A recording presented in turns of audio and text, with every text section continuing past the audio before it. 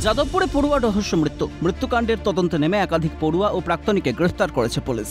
কিন্তু এই ঘটনায় পরতে পরতে রহস্য যা নাড়িয়ে দিয়েছে লালবাজারের দুঁদে আধিকারিকদের। যদিও তারাও ছাড়ার পাত্র নন, দফায় দফায় পড়ুয়া সহ ধৃতদের জিজ্ঞাসাবাদ করে ঘটনার তথ্য তালাশের চেষ্টা করছেন পুলিশ আধিকারিকরা। এই ঘটনার পর একটা চ্যাট ভাইরাল হয়, আর সেই চ্যাট থেকে উঠে আসে বিশ্ববিদ্যালয়ের ছাত্রনেতা অরিত্র মজুমদারের নাম। এই অরিত্রকে নিয়ে রহস্য ক্রমশ ঘনীভূত হয়। ঘটনার পর থেকেই কার্যত গায়েব ছিল অরিত্র ওরফে আলু যদিও অন্তরাল থেকে বেরিয়ে এসে মঙ্গলবার সোশ্যাল মিডিয়ায় এতদিন তার না থাকার কারণ উল্লেখ করেন অরিত্র। অরিত্রর দাবি, দশই আগস্ট সে বেশ কয়েকজনের সঙ্গে ট্রেকিং করতে কাশ্মীরের উদ্দেশ্যে রওনা দেয়। নেটওয়ার্ক না থাকার কারণে তার সঙ্গে যোগাযোগ সম্পূর্ণ বিচ্ছিন্ন হয়ে যায়। ফেসবুক পোস্টেও সে কথা স্বীকার করে নেন ওই পড়ুয়া।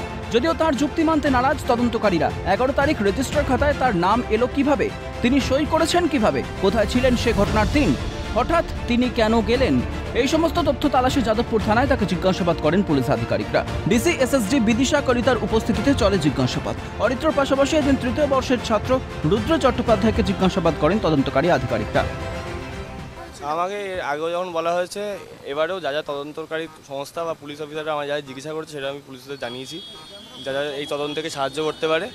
এর বেশি আমি আপনাদের মিডিয়া থেকে কিছু বলতে চাই না, আমি মিডিয়াতে একটাই কথা বলতে চাই, আপনারা এইটুকুনি সাহায্য করুন, স্বপ্নদীপকে যারা খুন করেছে, সেই র্যাগারদের শাস্তি চাই, এবং স্বপ্ন খুনি যারা, তাদের শাস্তি চাই আমরা।